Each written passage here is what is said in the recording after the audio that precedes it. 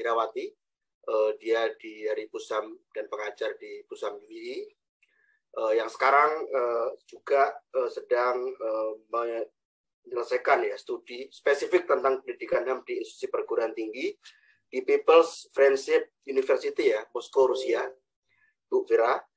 Silakan saya kira uh, Ibu Vira kita mulai dengan panel yang pertama. Baik, terima kasih Mas Zainal.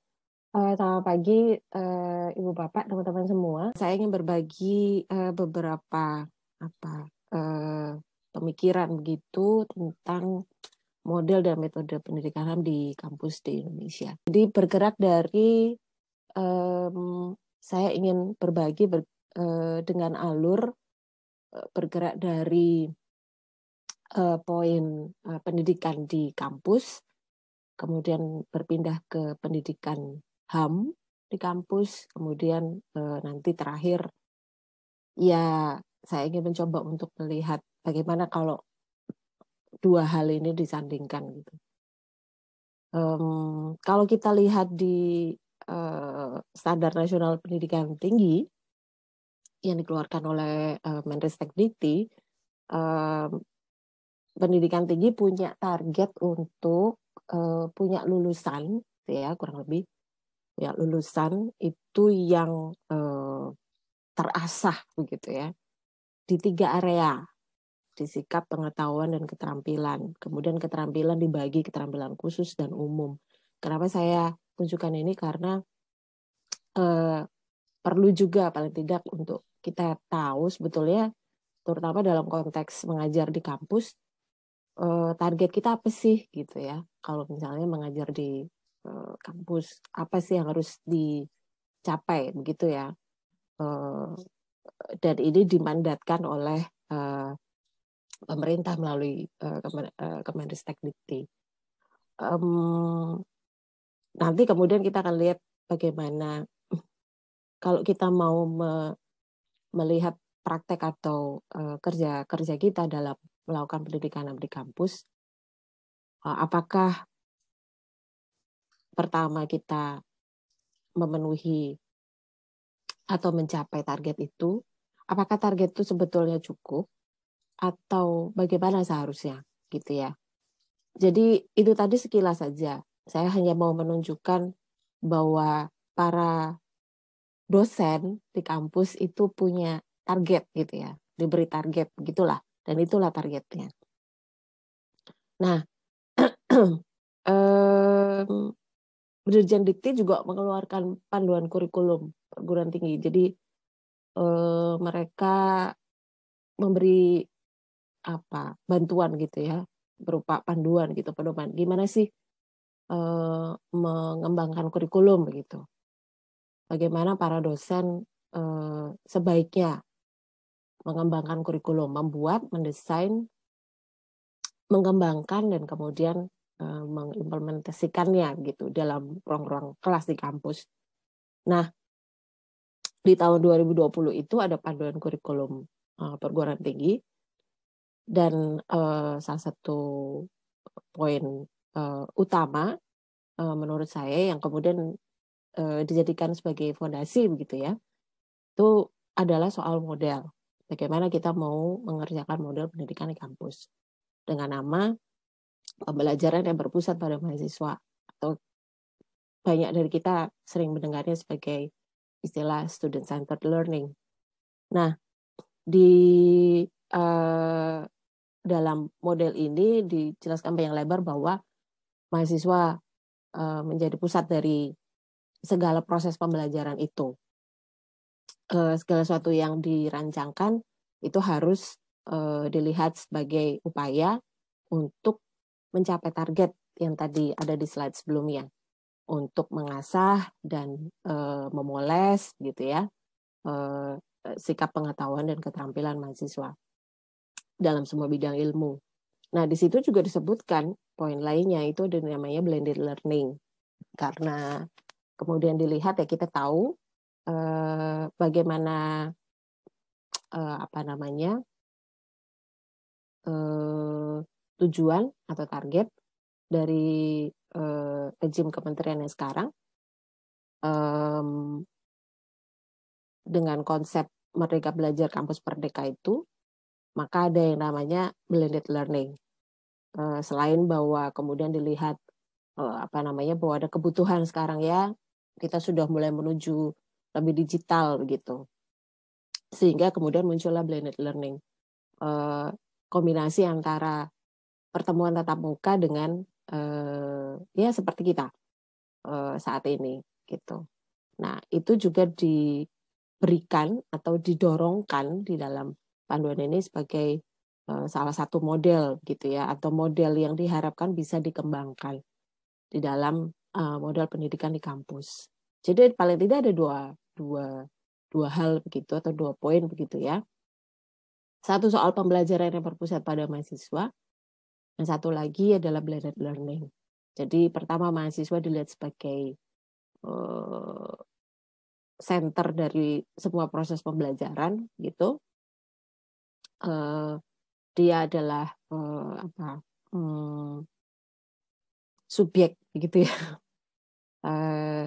segala satu yang dikerjakan atau dikembangkan di dalam kurikulum itu harus melihat pada tujuan apakah ini akan berguna bagi mahasiswa begitu akan mengasah uh, aspek uh, apa namanya uh, sikap pengetahuan keterampilan dan juga model blended learning. Nah, uh, saya ingin terus dulu saja. Nah, di dalam tadi ngomong soal model ya. Nah, uh, metodenya apa gitu? Uh, termasuk di dalam dokumen yang baru saya baru kita lihat uh, tadi banyak sekali disebutkan metode. Uh, kita bisa dilihat kita bisa lihat di sini uh, ini adalah metode-metode yang dan tidak ekshaustif sebetulnya dituliskan dalam panduan itu.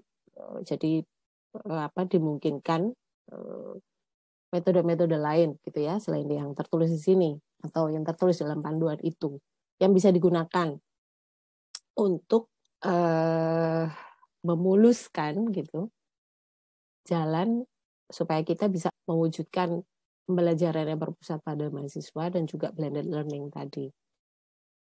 Uh, di situ ada pembelajaran kolaboratif, kooperatif, pembelajaran berbasis proyek, pembelajaran berbasis masalah dan seterusnya. Jadi ini adalah metode-metode yang yang digunakan dan saya kira kita semua sudah nggak nggak asing dengan itu ya. Kita semua paham uh, apa namanya dan kenal betul, familiar dengan uh, metode-metode ini. Oke, jadi tadi di tiga slide pertama kita lihat bagaimana model pendidikan kampus, bagaimana gambarannya gitu, eh, modelnya bagaimana, kemudian kita bisa pakai cara apa gitu ya, ngomong soal metode, dan tujuannya bagaimana gitu. Paling target yang mau dicapai itu kayak apa gitu ya, seperti apa. Nah dari gambar eh, eh apa namanya pendidikan di kampus atau kerangka kerja untuk pendidikan kampus, kita mau pindah lihat di pendidikan HAM. Saya pikir kita semua tahu uh, ini. Kemarin juga salah satu teman di panel juga bicara tentang ini. Uh, tujuan pendidikan HAM uh, saya ambil dari ya, beberapa dokumen begitu, dari dokumen uh, UN, kemudian uh, banyak juga uh, para uh, apa namanya pegiat dalam pendidikan HAM bicara tentang ini. Jadi tujuan tujuan akhir begitu ya. Tujuan akhir dari pendidikan HAM itu apa? Uh, dia mencegah, jadi ngomong prevention, tapi dia juga menghapus. Jadi dia bilang soal elimination, mencegah dan menghapus pelanggaran pelanggaran HAM. Disebutkan bahwa ini seperti menjadi ultimate goal gitu ya dari pendidikan HAM. Nah, eh, di dalam tujuan ini kemudian eh, ada kerangka kerja juga eh, yang yang eh, dilihat gitu ya atau diamati, diobserve bisa paling tidak membantu kita untuk punya gambaran. Kalau kita melakukan pendidikan HAM dalam konteks ini di kampus, eh, kita harus lihat ranah apa saja gitu atau eh, tempat-tempat atau aspek apa saja gitu. Nah, di situ ada education about human rights, true rights, dan for rights.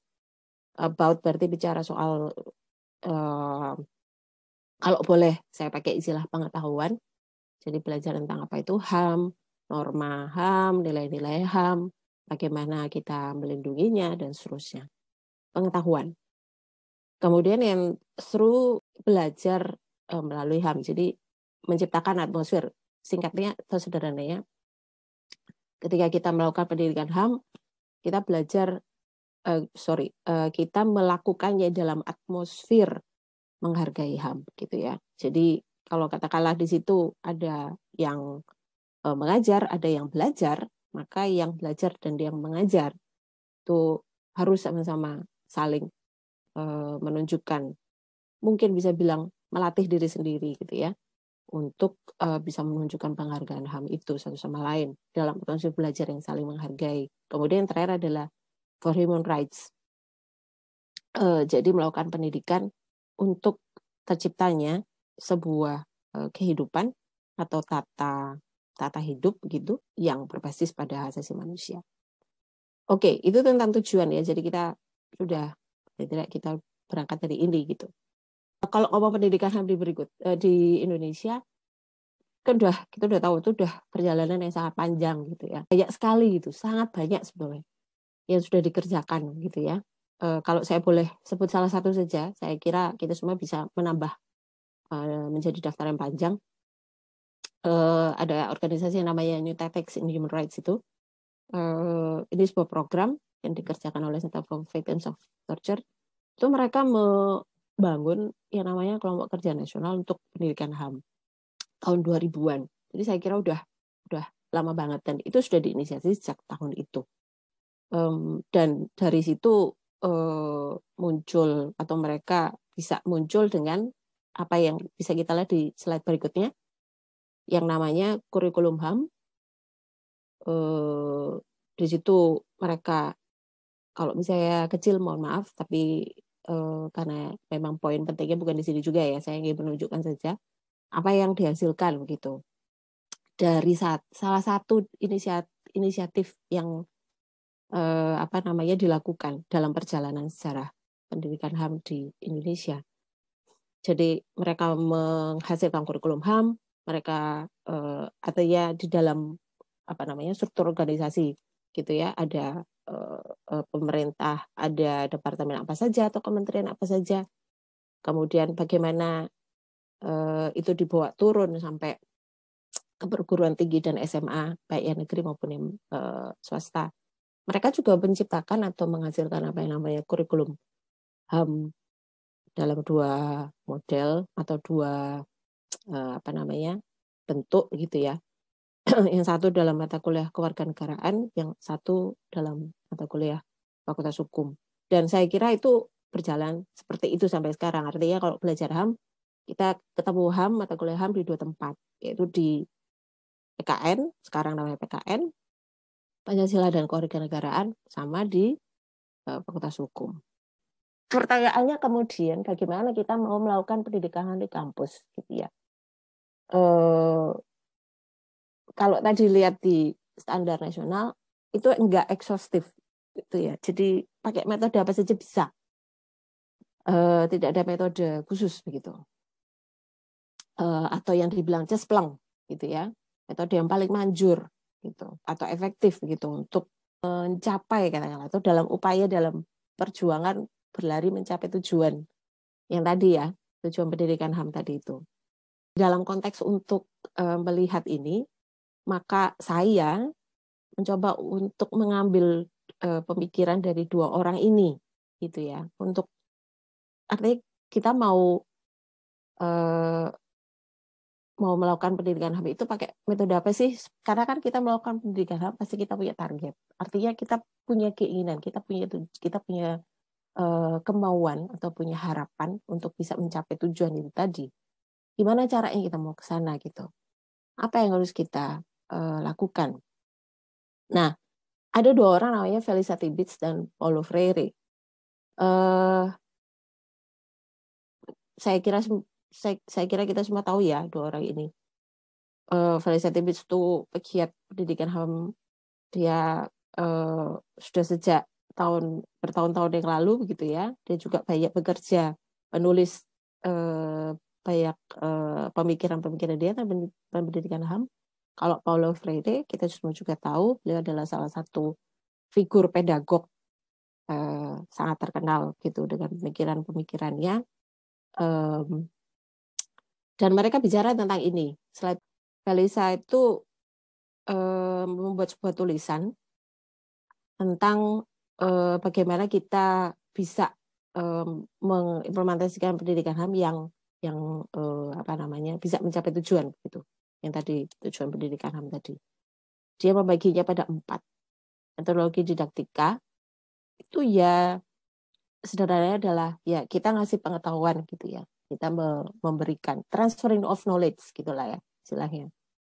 Lalu ada partisipatoris atau interaktif. Ini yang banyak sekali digunakan. Sekarang ini sangat sangat common, sangat umum. Eh, metode-metode yang kita lihat di atas tadi itu yang banyak digunakan juga untuk apa namanya eh, menjawab metodologi partisipatoris ini gitu. Tetapi dalam pemikiran Felicia Tibbets paling tidak ya bahwa tataran ini masih tataran kedua gitu. Artinya kita bisa kita sudah mulai mengajak atau melibatkan mahasiswa dalam hal ini, tetapi hanya pada tataran mereka latihan gitu atau mahasiswa itu latihan gitu untuk mengkonfirmasi pengetahuan mereka, pemahaman mereka pada tataran sebelumnya.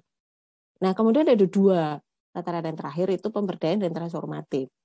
Mereka dilihat atau dianggap dua metodologi dianggap efektif gitulah ya untuk eh, bisa mendekatkan kita eh, lebih dekat lagi pada tujuan eh, pendidikan HAM begitu eh, karena baik metodologi pemberdayaan maupun transformatif itu dilihat mengajak mahasiswa untuk tidak hanya mengkonfirmasi pengetahuan tapi melakukan sesuatu terhadap apa yang mereka konfirmasi tadi gitu ya. Hanya garis bawah pada transformatif itu adalah bahwa kemudian eh, mahasiswa eh, mengalami atau menjalani proses eh, mereka sampai pada titik ketika mereka menjadi agent of change gitu. Itu bahasanya begitu ya.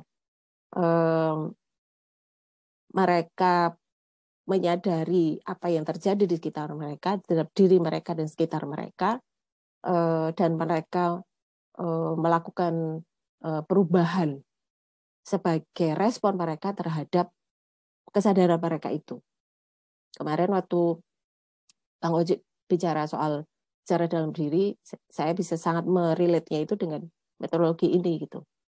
Karena kita tidak lagi berdiri di luar persoalan, tapi kita sadar bahwa kita adalah bagian dari persoalan dan eh, eh, apa namanya eh, kita punya kesadaran bahwa kita bisa dan mau melakukan perubahan itu gitu sehingga mahasiswa kemudian menjadi orang-orang menjadi individu yang eh, mereka melakukan perubahan di keluarganya dirinya sendiri keluarganya komunitasnya dan lebih besar lagi nah itu metodologi transformatif uh, yang dimaksud oleh Tibbets dan yang saya kira sangat relate paling dekat dengan uh, tujuan pendidikan HAM tadi gitu.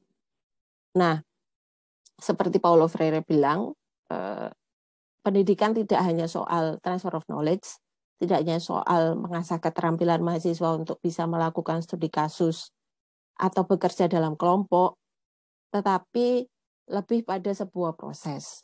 Bagaimana saya sebagai dosen dan teman-teman mahasiswa itu kita punya proses dialog bicara tentang apa yang ada di uh, dunia kita gitu apa yang sedang terjadi dan apa yang jadi persoalan apakah kita punya kesadaran bahwa kita bagian dari persoalan itu dan bagaimana kita berproses supaya kita semua dosen dan mahasiswa itu uh, punya kesadaran untuk uh, merubah.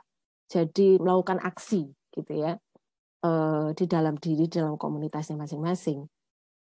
Um, demokratis tidak artinya tidak ada uh, apa pembedaan begitu ya. Artinya kita setara begitu. Dosen bukan lagi orang yang uh, apa paling tahu dan seterusnya.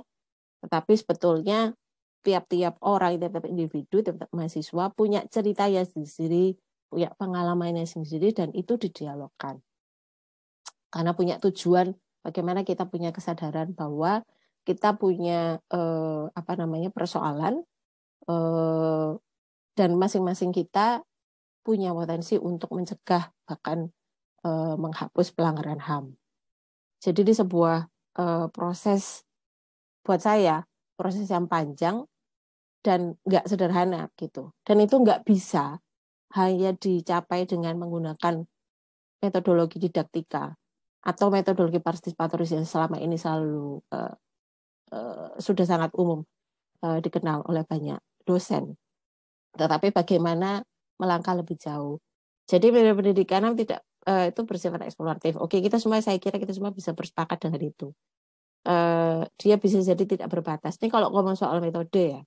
Tetapi uh, sorry, kemudian poin berikutnya keputusan atas sebuah metode dipengaruhi pada jenis metodologi yang kita tentukan. Kita mau sampai metodologi didaktika doang atau kita mau di mana? Gitu ya. Kemudian itu yang kemudian mendorong kita. Oh, kalau cuma transfer, transfer of knowledge, kita bikin aja PowerPoint, kita kirim ke mahasiswa selesai. Tapi apa kita mau itu? Nah itu pertanyaan saya. Kita mau gimana gitu? Mau mau bikin model pendidikan macam apa yang di kampus? Kita mau mencapai tujuan di mana gitu? E, mau mencapai tujuan tadi atau kita mau bikin tujuan sendiri? Kita mau sampai di metodologi didaktika doang atau kita mau lanjut dari itu? Itu pertanyaan yang muncul dari saya sebetulnya dan saya mau share dengan uh, forum ini gitu. Bagaimana menyandingkan standar pendidikan di kampus yang tadi standar nasional dikti dengan standar pendidikan HAM. Standar pendidikan maksudnya adalah tujuan pendidikan HAM tadi gitu. Nah, standar nasional itu yang tadi kita lihat cukupkah sampai di situ? Sikap pengetahuan keterampilan itu cukup ataukah bagaimana? Kalau enggak, bisa nggak sih kita mencapai tujuan pendidikan HAM dalam pagar standar dan kerangka pendidikan tinggi kita. Saya pernah sudah sampai pada kesimpulan beberapa waktu yang lalu bahwa kita nggak akan pernah mencapai standar pendidikan HAM itu dalam konteks pendidikan tinggi, pendidikan formal maksud saya, sorry ya. Tapi eh, nggak boleh juga mungkin bicara seperti itu karena terdengar sangat skeptis. Eh, tetapi ya itu sebuah proses dan perjuangan tentunya. Uh, hanya ini tadi, memang ini pertanyaan yang ingin saya munculkan di sini dan ingin saya bagikan dengan Eh, teman-teman semua di sini. Oke, itu saja dari saya uh, yang bisa saya bagikan. Terima kasih banyak. Terima kasih Mbak Vira, Aluta Continua, perjuangan tetap berlanjut. Nah, ini yep. menarik sekali ya. Mbak Vira telah memberikan kerangka bagaimana uh, tujuan pendidikan tinggi dan juga relasinya dengan uh, tujuan pendidikan HAM. Kata-kata kunci yang saya dapatkan tadi sebetulnya secara metode itu tidak tidak sepenuhnya ada satu formula yang cespleng. Tetapi Mbak Vira juga menawarkan beberapa metode, mulai dari didaktika sampai pemberdayaan dan transformatif. Uh, yang penting juga adalah kita semua ini bu bukan berada di luar persoalan. Jadi kita ini bagian dari persoalan yang memang punya tugas untuk um, menyelesaikan ya dengan tujuan-tujuan uh, pendidikan HAM. Pertanyaan terakhir menarik. Uh, sejauh mana pendidikan HAM ini kemudian harus dijalankan. Perguruan tinggi perannya di mana sebetulnya dan kemudian sebetulnya pendidikan formal informal soal HAM itu juga menjadi penting.